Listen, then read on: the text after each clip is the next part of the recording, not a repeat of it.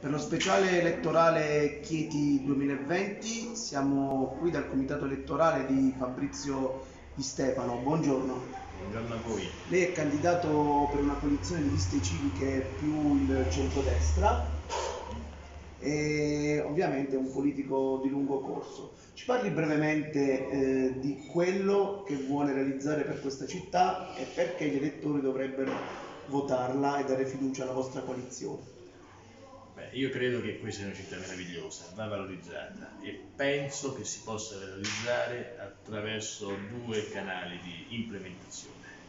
Da una parte c'è il binomio Ateneo-ospedale, che sono due delle, delle più grandi aziende presenti in città, ma che non esprimono in eh, tutto il loro potenziale di eh, capacità anche economiche oltre che sociali Dall'altra parte c'è la meravigliosa storia di Chieti, racchiusa nei suoi 3200 anni di vestigia, di beni per patrimonio archeologico, patrimonio culturale, di, patrimonio architettonico, ma anche di storia. Eh, se tante città con meno storia e meno ricchezza culturale di Chieti vivono di turismo culturale, noi non, noi non possiamo che puntare sul turismo culturale per far decollare anche Chieti. Su questi due asset e sui finanziamenti europei, che oggi sono il, progetto principale su cui ci si può basare perché sono i finanziamenti più immediati, io ho puntato sul mio progetto politico.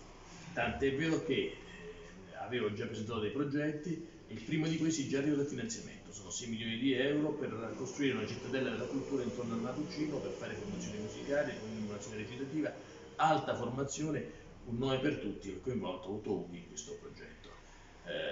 Su questo costruiremo la Chieti 2030. Perché votare, eh, dare fiducia a un appello agli elettori?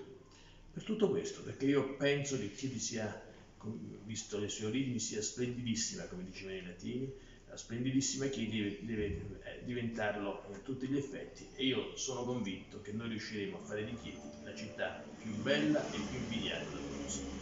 Ringraziamo Fabrizio Di Stefano eh, al prossimo speciale elettorale, grazie. Grazie a voi.